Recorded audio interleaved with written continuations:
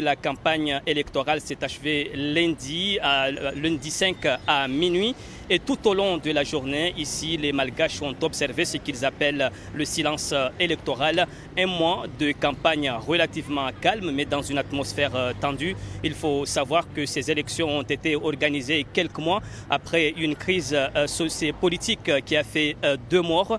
Et d'ailleurs, un gouvernement de l'Union nationale a été mis en place, ce qui a permis d'apaiser la situation et qui a permis, entre autres, aux sortants de se représenter. Et en parlant de sortants, sachez qu'il y a 36 candidats en lice et parmi eux des anciens présidents de la République.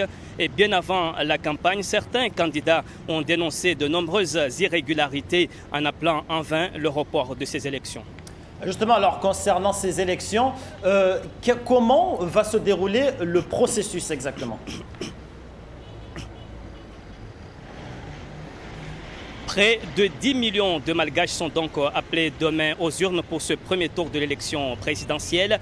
Ouverture des bureaux à 7 heures, fermeture à 17 heures et de nombreux observateurs euh, internationaux de l'Union européenne mais aussi de l'Union africaine sont bien présents pour le bon déroulement de ce scrutin. Euh, le port de téléphone portable est interdit dans les bureaux de vote mais aussi et surtout dans l'isoloir. Et aussi évident que cela puisse paraître, la Commission nationale électorale indépendante a précisé que seuls ceux qui sont inscrits sur les listes électorales prendront part au vote. Et sachez que c'est un scrutin sous haute surveillance ici dans la capitale malgache, pas moins de 1000 policiers mobilisés.